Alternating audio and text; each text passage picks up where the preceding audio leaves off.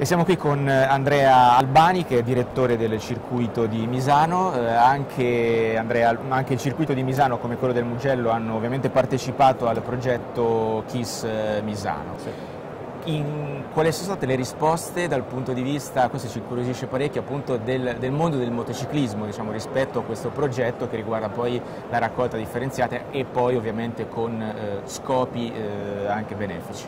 Ah, allora, di certo noi abbiamo iniziato questo progetto proprio per iniziare un processo di sensibilizzazione di un pubblico che è abbastanza variegato, per cui noi abbiamo sì la MotoGP e quindi c'è un momento di grande affluenza, parliamo di oltre 158.000 presenze che arrivano, consumano e non sono di certo come dire, eh, formati in questo momento, una, sono talmente distratti dalla gara che ci vogliono tutta una serie di azioni Immagino. che grazie alla Right Hub siamo riusciti a, uh, in qualche modo a uh, creare quelle condizioni di sensibilizzazione. Quindi il primo passaggio è questo, per quanto riguarda gli aspetti di, diciamo, del resto delle, delle, gare, quindi il via vai dei team, dei piloti in paddock, eh, riteniamo che con eh, l'esperienza eh, raccolta in questi due anni di KISS Misano sia iniziato un percorso di, educativo che poi speriamo e dovrà diventare un, un fattore anche culturale cioè, quindi ci vorrà un po' di tempo per interiorizzare quelli che sono questi valori certo. per noi fondamentali,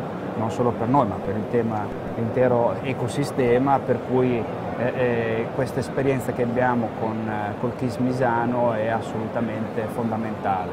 Le risposte sono positive. Dai dati di ERA che diciamo, ci sostiene sì. anche per che riguarda una fase di di materie riciclate, di materiale riciclato siamo arrivati oggi al 48% in occasione della MotoGP. Chiaramente numeri alti, però insomma, il nostro obiettivo è di riuscire ad arrivare ad, aumentarli. ad aumentarli.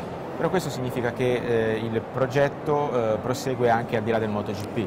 Sì, noi in realtà nel 2016 eravamo pronti ad accoglierlo perché avevamo già iniziato un nostro percorso. Di fatto già eh, da qualche anno avevamo abbiamo, abbiamo fatto degli investimenti infrastrutturali importanti per cui eh, sulle tribune eh, coperte abbiamo realizzato un bel impianto di fotovoltaico che ci permette di recuperare il 30% di energia in maniera autonoma, abbiamo realizzato un progetto molto importante sul rumore per cui eh, abbiamo creato delle zone di, eh, diciamo, di copertura con del, del materiale eh, ad hoc per evitare delle barriere antirumore ben organizzate. E oggi abbiamo eh, delle centraline che tengono monitorato costantemente il nostro, il nostro, impianto e sono collegate agli organi competenti e devo dire che non abbiamo mai sforato i decimi previsti da legge.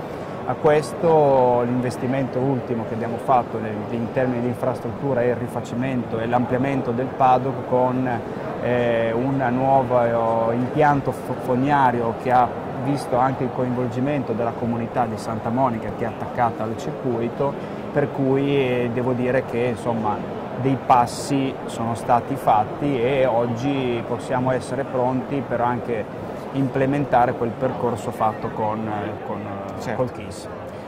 Ma Valentino Rossi ha fatto la raccolta differenziata. Beh, diciamo che è uno dei sostenitori, è uno dei testimoni, perché Yamaha, il team Yamaha certo. è uno dei team insieme anche a Ducati e tanti altri, il team di MotoGP che eh, eh, ha una struttura organizzativa tesa anche al, alla sostenibilità ambientale. È un tema molto importante. Noi, Quindi c'è partecipazione anche C'è una delle, partecipazione anche da aziende, parte delle, delle, delle, aziende, sia dal punto di vista proprio del, del riciclo, sì. dell'eccedenza alimentare, ma anche da un punto di vista sociale e etico. Noi quest'anno abbiamo realizzato una bellissima iniziativa con la Papa Giovanni XXIII per cui abbiamo accolto 600, eh, 600 spettatori disabili in maniera, non, in maniera, non, banale, poiché posizionare 600 persone in un contesto certo, di 158.000 e in un'infrastruttura che eh, eh, si eh, estende su tantissimi metri quadri non era proprio semplice. Attraverso il supporto della Papa Giovanni siamo riusciti ad ospitarli in maniera veramente egregia. Anche... Abbiamo anche devoluto, abbiamo fatto una raccolta, un'asta di beneficenza che prevede anche la raccolta e devo ringraziare tutte le case costruttrici che hanno donato degli oggetti firmati dai piloti tra cui uno anche di Valentino e quindi insomma tutto quello che è stato raccolto è stato devoluto con grande piacere a questa associazione. Abbiamo citato lui ovviamente in nome di tutti certo, i piloti certo, chiaramente, certo, essendo certo. poi un po' il più famoso. Allora diciamo anche per eh, correttezza che eh, al Mugello invece la, ehm, l'asta di beneficenza è poi andata all'ospedale Meyer, Sì, certo. l'ospedale pediatrico Meyer di Esatto. Firenze ovviamente. Esatto. E ricordiamo anche che questo progetto, eh, Kiss Misano, è realizzato in partnership, in collaborazione con il sistema consortile che prevede appunto Comieco, CIAL, Coreve, Ricrea e eh, Corepla. E noi ringraziamo quindi Grazie a voi. Andrea Albani, ricordiamo direttore del circuito di Misano per essere stato con noi, per averci parlato del progetto, ma anche per averci spiegato come un circuito così importante poi si, è appresta, si appresta, ma eh, è già passi avanti, ha compiuto già passi avanti su questo percorso eh, verso la, la sostenibilità. Insomma. Certo. Grazie per essere Grazie, stato con noi. grazie. Salve.